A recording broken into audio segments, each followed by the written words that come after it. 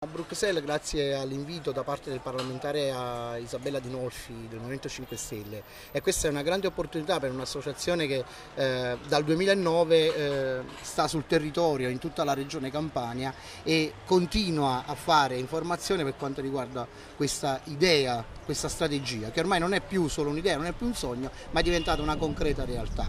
Tant'è vero che in, in diversi paesi eh, d'Italia ormai aderiscono a questa strategia.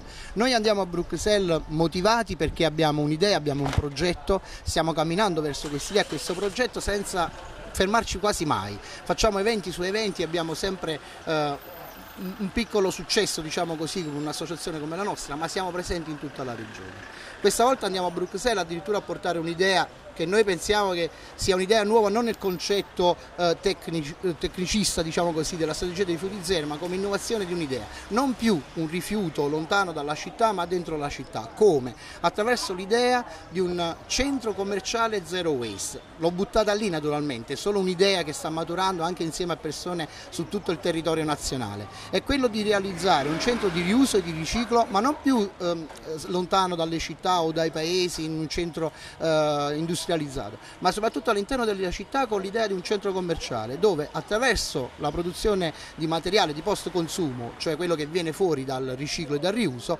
creare dei negozi, negozi che possono essere la vendita di abiti eh, trasformati naturalmente da abiti in disuso da stilisti anche magari famosi, oppure per esempio dall'argento e dall'oro che si ritrae dagli strumenti elettronici poter fare una gioielleria che sia di post consumo. Idea di questo tipo